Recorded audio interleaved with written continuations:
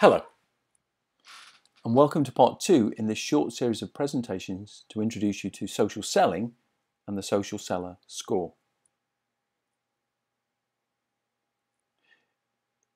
In part one, we discussed why customer engagement is a critical business imperative. Paul Greenberg, author of CRM at the Speed of Light, describes customer engagement as the prevailing theme for business for the next 10 years.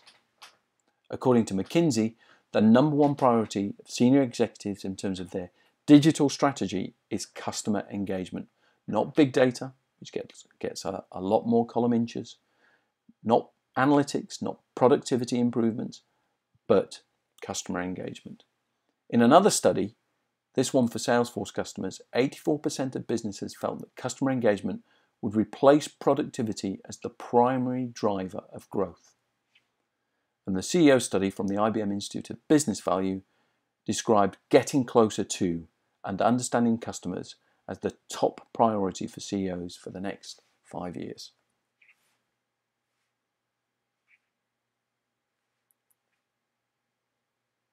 In this section, we discuss just one of the seven habits of social sellers and why it's important as you get started on your social seller journey and consider improving your social seller score. The material is adapted from our Social Seller workshop, which covers all seven habits and is designed to help you adapt quickly to the changing world of business buyers. Please speak with your Artesian contact if you'd like to know more about this workshop. So, on with habit number four become a brand. As an Artesian user, before you go to a sales call, you'll be well informed about the customer as a result of the insights that you've harvested from your Artesian alerts. You'll no doubt have reviewed the company brief, you'll understand the basic financials, you'll have reviewed the People's tab, clicked through on LinkedIn, you'll probably have a few bookmarks even to remind you of the insights you've discovered over the prior weeks, even months. However, as sellers, we don't live in a vacuum. Your customers will be doing exactly the same thing to you. And maybe they don't have Artesian, instead, they might just Google you. And the question we have to ask as professional sellers when our customers do that, what will they find? Brands used to be for the business only, and our jobs as employees was to serve that brand. And this is now no longer the case. Okay. When we buy, we inherently trust people more than we trust organisations. And we have some pretty definitive data to support that assertion. This is data from the Edelman Trust Barometer, a highly respected survey of 33,000 respondents across 27 countries. In 2009, a new category appeared a person like yourself. A person like yourself. Every year since then, this category, a person like yourself, has continued to increase. In fact, one of the conclusions of the 14th study, the latest, was that employees can only strengthen their organizational credibility. In another study, Trust, Transparency and Technology from the IBM Institute of Business Value, they, what they found was that only 42% of us trust the insurance industry, while 66% of us, full two thirds, trust the person we buy our insurance from. All that data supports the old adage that people buy from people. And today, your reputation is online and it's digital. So, what action should we take as professional sellers to manage our digital reputation? Well, first and foremost, all of your personal profile pictures on professional social networks should create that first, that good first impression. So, it should be a professional picture taken head and shoulders, not like this one taken too far away, which obviously come from um, uh, from a walking holiday. And it should be professional, unlike this one. Let me talk you through the top 10 photo blunders. One, taking pictures with your pet. Number two, a group shot, even if it's a professional group shot. Number three, a photo of your baby or child. Number four, an old photo. That really is going to confuse people when they meet you for the first time if it's not a recent photo. Perhaps a photo on the beach or a wedding photo because it's been taken by a professional. Pixelated or stretched because it's been taken from a, an old uh, lower resolution uh, camera. Too serious? And sometimes I do see these avatars or caricatures of ourselves or even your, uh, your product or your company logo. People want to connect to you on a professional social network, not to your company. And the number one mistake is not having a photo at all. This can create the impression that um, you don't know how to use online professional social networks. It can make you seem out of touch with current technology and trends. You can appear to be technically incapable. And those without photos may be perceived as uh, not belonging to uh, real profiles. A lack of a photo keeps your profile, profile from being 100% complete. And according to LinkedIn's criteria, profiles that are 100% complete are more likely to show up higher in search results uh, giving them an advantage over incomplete profiles. So having a photo uh, is just one of those ways in which you will be uh, more often found.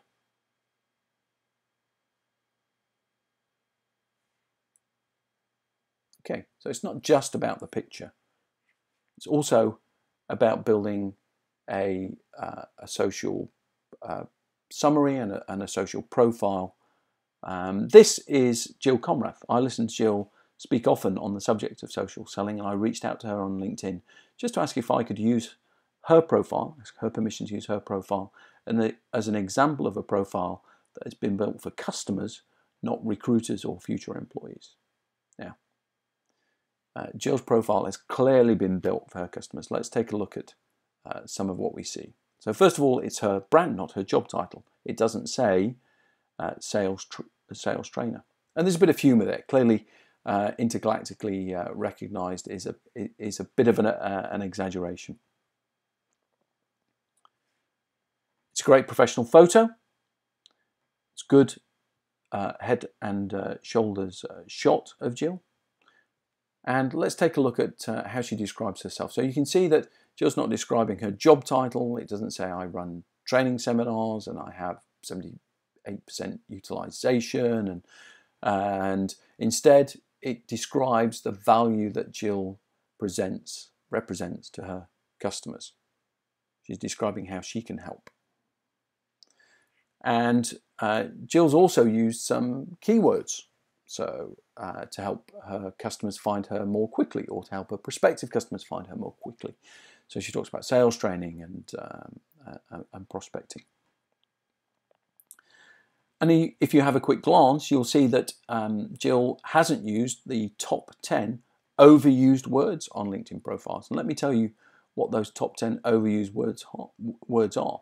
They're creative, organizational, effective, motivated, extensive experience, track record, innovative, responsible, analytical, or problem solving.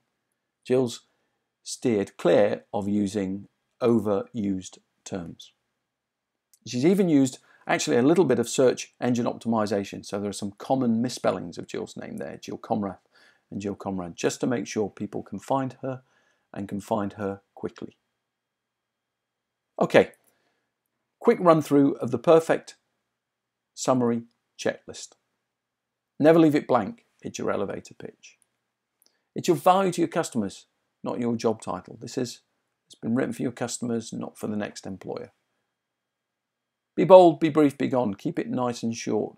But do keep it professional, but don't make it dull. Use a conversational tone. You'll have noticed that Jill, unlike most of us in our, in our CVs and our resumes, has used the first person because it's more dynamic, it's more com uh, conversational, it can convey uh, passion and energy.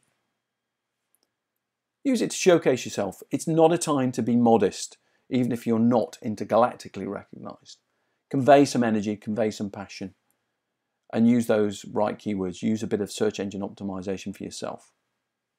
And it's the worst possible place for spelling mistakes. So do check and double check.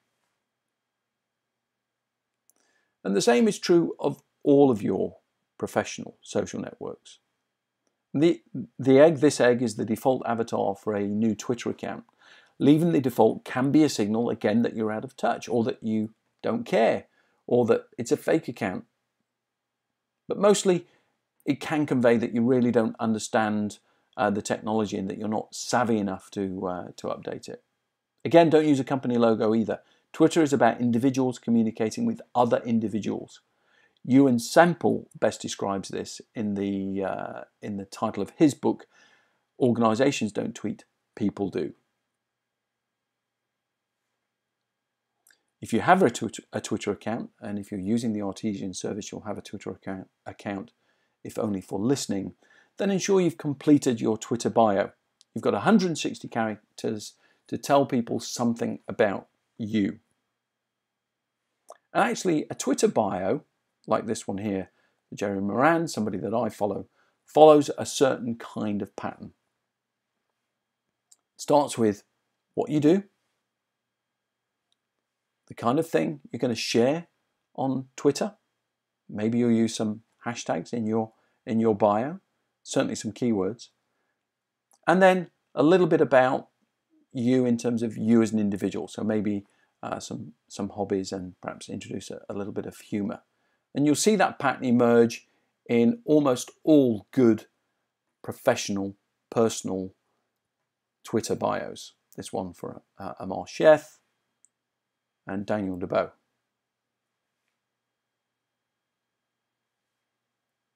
Okay, so one final note on Twitter. All Artesian users will at least be listening. So ensure you're listening to regulators, industry publications, thought leaders. Of course, much of this you can do directly inside the Artesian service. And don't forget to add your social profiles to email signatures, business cards, cross-link from one professional social network to the other. So pop your LinkedIn URL on your Twitter profile and your Twitter URL on your LinkedIn profile. Include it in your present at the end of your presentations too. So, but personal branding is much more than your profile, uh, your summary, and your picture. It's those characteristics that make you uh, that make you unique, but it's also about how you communicate. Let me explain further. In the Artesian service, we provide lots of social signals in order to help you build your brand. Lots of opportunities to reach out to your network, to talk about things that are important to them. Lots of opportunities to focus on the things that are happening in your customers and your buyers' worlds. And these are just some of them.